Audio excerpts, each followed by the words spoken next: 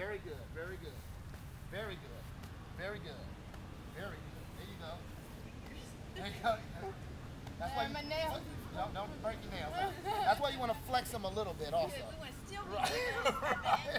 right. I So say you my life, but I broke a understand, nail. right?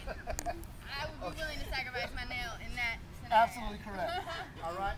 Now another th- another thing that's good is, is when if someone's trying to grab you, if you do what we call prayer hands, and it's just simple as bending, stretching up.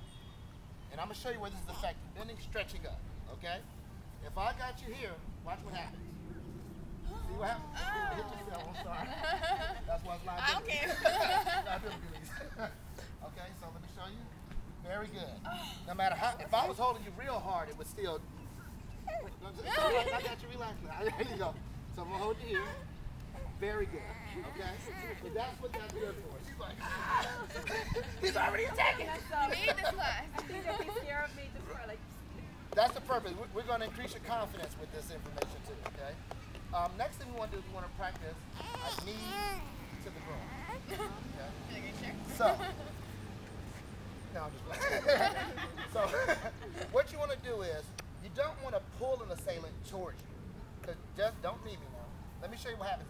Pull me towards you, see how I bend? See how much harder it is to get to my groin? You don't want to do that. You just want to use this for leverage to knee up. Uh, correct. Correct. Very good. You want to aim close to the groin as possible. Careful. Right. Right. Just because I got a kid over here, don't mean I don't want any more now, okay? Ah. We're going to go one scenario at a time. Because let me tell you why. Because the, the, there's more times where a single attacker attacks someone than multiple attackers, okay? And what we want to do is, if you see a situation that you're walking into, and it looks like two guys may attack you, that's where the instinctiveness and intuition comes in. You might not want to go that way. Even if it's a long way home, go the long way. Or wait until they leave, okay? But also we'll get into walking with assertiveness. You know, it's a way that you can walk and look look like you're could be a victim more so than not. If you have a very confident walk, and if you're very aware of your surroundings, you, you- you're less likely to be a victim. Why? Because if you're paying attention to everything, well, then there's a great chance they think that you're paying attention to them. Right. You know, if you're walking where like, okay, well, just in case, I'm just walking where I'm going, but I see you there. You know, speak sometime. Hello, how are you doing? You know, because then you then what they do is like, okay, well, I've been recognized now. It does that. You'd be amazed the small things you could do to not be a victim.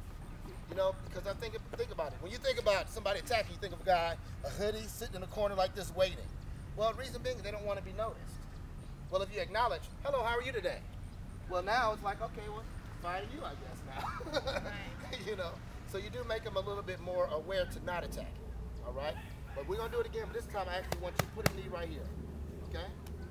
Put your hands, put your hands on my shoulder. There you go, both of them. Knee hard. There you go. Step into it. There you go. Very good. Very good. Very good. Very good. Very good. I'm serious. If they're gonna get me. Right, very good. Very good, okay? One of those right there works very, very well, okay? What it does is because there are different parts that are vital key points, and what we're gonna do is we're gonna send you home with a little homework to show you vital areas, but to cover some vital strike points. well, it just goes more in detail. um, eyes is a good place to attack. Throat is a good place to attack. Groin is always a wonderful place to attack on a male or a female, okay? Outside of that, you also have the ears. Something simple as digging your hands in the ear and pulling somebody's ears down. You can try that yourself. Try to grab your own ear. You just pull a little. Don't hurt yourself now. Imagine if you just really grabbed them, trying to rip them off. Okay? They might rip. Honestly. Yeah, but if you grab and pull, twisting is probably it's gonna be require a little bit more time. Where if you just, I mean, because all this is like, if I'm coming right here this fast, you don't. if, you, if I come at you real fast, you just want to be able to do something real quick to get to change my direction. Okay? You tried it also? Yeah. Okay. Um, another good place, another uh, part is like knees. Those are just simple like kick to the knee. Simple, turn your body, just kick. If I'm running like this and I step and you kick me when I plant, this is definitely going to happen every time. Like step, just step forward. See that? Step forward. See, Guaranteed. It's just certain parts of your body that no matter how big or, or strong you are, it has to go. If it goes opposite direction, you have to go with it. It's guaranteed. Um, outside that, get back on track to what we're doing. The next thing I want you to work on is it's called a fighting stance. Okay?